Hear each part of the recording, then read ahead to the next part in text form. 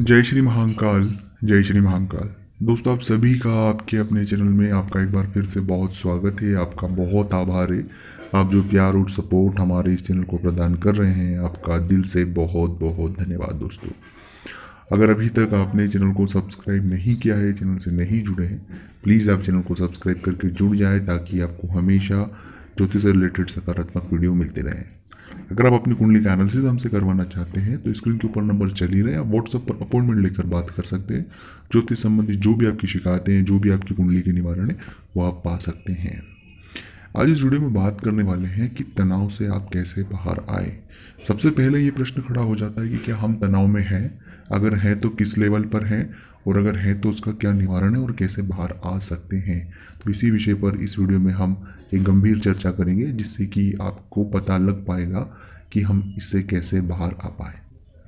दोस्तों, होता ऐसा है कि आज के युग में बहुत ज़्यादा भाग दौड़ होती है। और हमें पता भी नहीं लगता है कि हम तनाव के शिकार हो चुके हैं। तनाव एक ऐसा दीमक है कि जो शुरुआत में हमें बहुत कम कम दिखाई देता है लेकिन उसके जो परिणाम है एकदम से बहुत सारे और बहुत बड़े दिखाई देते हैं। मतलब जैसे कि मन नहीं लगना आ, मन कभी कभी चीज़ों को काम करने में मन नहीं लगता है। कई बार हमें बोलने का मन नहीं होता कई बार घिन आ जाती मतलब इस तरह की सिचुएशन होती है कि हम आइडेंटिफाई नहीं कर सकते हैं कि हम वाकई में डिप्रेशन में या नहीं हैं। तो उसके कुछ सामान्य जो है वो मैं आपसे पहले शेयर कर देता हूँ, जैसे कई बार मन नहीं लगता। कई बार हमें मस्तिष्क हेडेक भी होता है, कई बार हमारा ओवर थिंकिंग में चले जाते हैं, कई बार हमें एक चीज़ को लेकर बहुत ज़्यादा घिन्नता के विचार आते हैं। तो वो चीज़ें अगर आपके मन में बार बार हो रही है तो इस समझ जाइएगा कि हम तनाव के दूर से गुजर रहे हैं। देखिए, तनाव में होना कोई बुरी बात नहीं है और कोई बड़ी बात भी नहीं है। और ये कोई एक ऐसा, ऐसी, ऐसे लाइलाज, बीमारी जैसा नहीं है कि जो ख़त्म नहीं हो सकती। तनाव को बाहर करने के लिए और उससे दूर रहने का सबसे आसान और मुख्य तरीका है किसी भी चीज़ में ज़्यादा नहीं सोचना। ओवर थिंकिंग तनाव का एक बहुत बड़ी वजह है।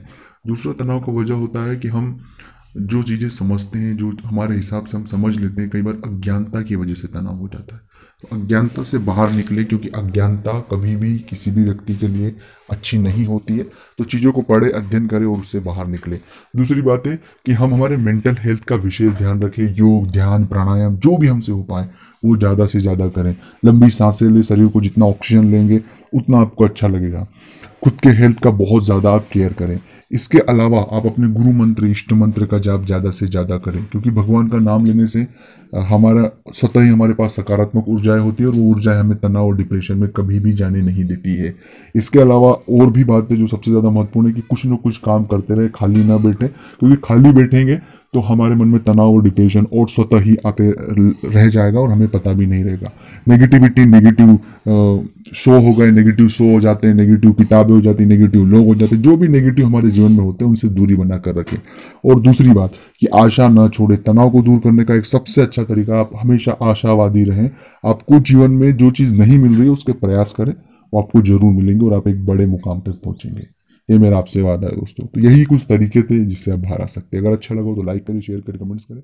ओम नमः शिवाय।